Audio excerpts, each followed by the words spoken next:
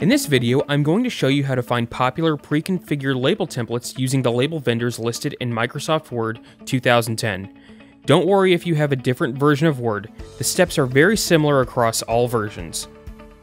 For this example, I'm going to use the product number OL875 from OnlineLabels.com and show you how to easily find the template for this label and many other popular brands. First, go to the Mailings tab and click the Labels icon. This will open up the Envelopes and Labels window. Then click on the Options button near the bottom of this window. This will open up label options. In the middle of this window, you will see a drop-down list called Label Vendors. Scroll through this list and find the name of the vendor. Next, you will see another list below the label vendor list called Product Number. Scroll through this list and find the product number that is on your label package.